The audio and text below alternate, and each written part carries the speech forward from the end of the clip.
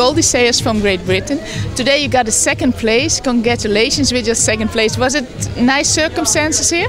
Yeah, it's a lovely. It was very good weather. The, the wind was a little bit. It would have been better from behind, but it's a lovely setting to throw.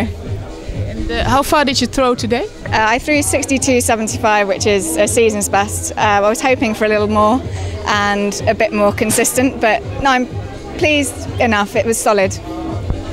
This year the Olympic Games are in, in London. Is it very special for somebody from Great Britain to have it in London?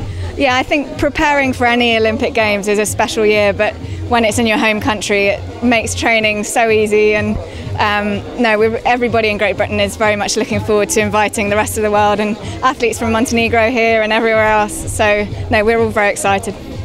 In Beijing, you, you got the fourth place. now we are now we are in 2012. What, can you can you compete for the medals? I hope so. That's that's the plan. So. Um, you know, all my training is geared up towards competing at my best in London. And hopefully, with a home crowd, that will give me the extra 30 centimetres I didn't have last time. So, no, really looking forward to it. Thank you very much. Thank you.